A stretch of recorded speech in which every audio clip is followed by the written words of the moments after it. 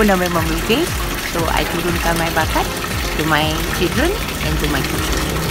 So let them have their having their having apa orang kata pastime lah kan. Ataupun maybe, maybe nanti besok dia dah pandai, they can make a great artist ke kan macam tu lah. Least they have their own activity kan.